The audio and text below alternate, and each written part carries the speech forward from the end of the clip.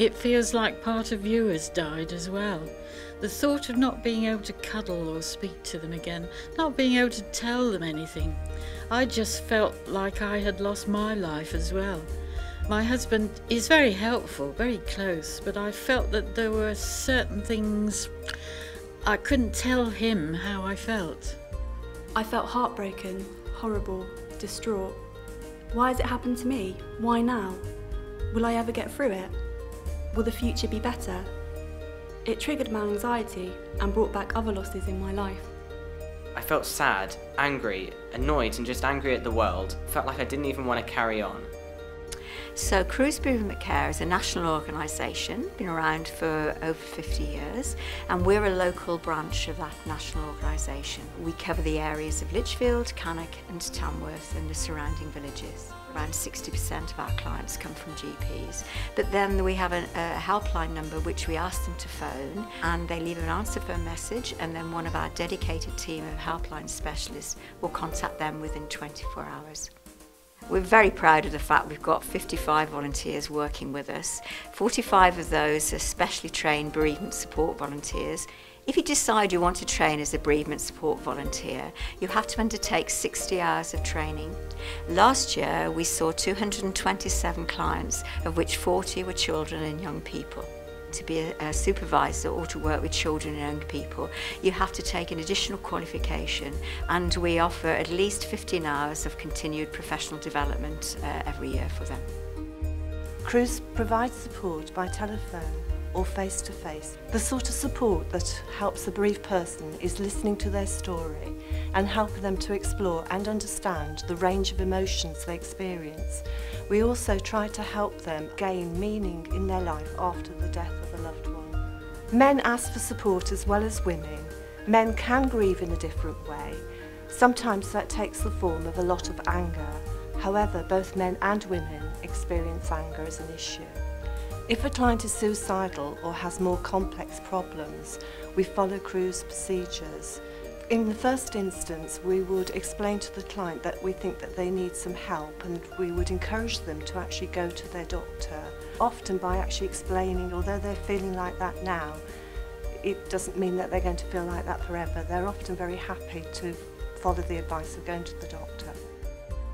It costs £30,000 a year to run the charity and the main expenses are on travelling costs, uh, training courses and literature.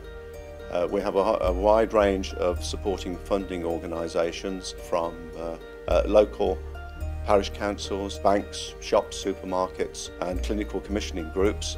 There are people who make uh, individual donations to Cruse and some cover the costs of such things like the helpline telephone. Increasingly, funders are requiring reports back on the way that the money is being spent, particularly if it's against specific objectives. Uh, we also have uh, a volunteer accountant who keeps a very close watch on the income and expenditure and he raises reports on a regular basis to keep us well informed This year we've pioneered our first bereavement support group which has gone on over 10 weeks. To develop our work with children and young people we're working with our local hospice St Giles and one of the things we're focusing on is to going into schools to work with staff to help them support children through the bereavement process. One of the wider aspects of Cruse is not only to see clients on a one-to-one -one basis but to actually engage with the community, helping the community at large to support the bereaved. For me, being a volunteer is recognising that when people are at their greatest point of need, that uh, the opportunity to get someone near that you can talk to about your grief is really important. I find working with children um, absolutely fantastic. Uh, just to see a child's life turn round is very important. To enable them to cope day by day while they create a meaningful life for themselves is an honour and personally very satisfying. Working with young children and young people gives me a great deal of satisfaction to watch their lives become transformed and watch them flower into something very purposeful and having a great understanding of death and bereavement and a great understanding of coping with their grief. It's, it's a privilege actually because someone's opening up to you, they're sharing um, their feelings about their grief and your, your role is to help draw near and support as they um, move through that grief journey. Um, so that is satisfying and, and to see them work towards uh, not a conclusion but a, a point where they're feeling more um, content and, and more able to get on with life. I think that is satisfying. I used to be a very negative person. There's still a negative inside, but I turn more things into positive now. You think, I'm not the only one in this world that's lost somebody really close, that's going through the same feelings as me, that's hurt, that's upset, that's got this loss. The more you talk, the better it is. It has helped me control my grief, my anger, and other emotions, prepared me for losses in the future. I know everyone faces losses, it's not just me. It's made me happier, I know how to react and cope with grief and loss.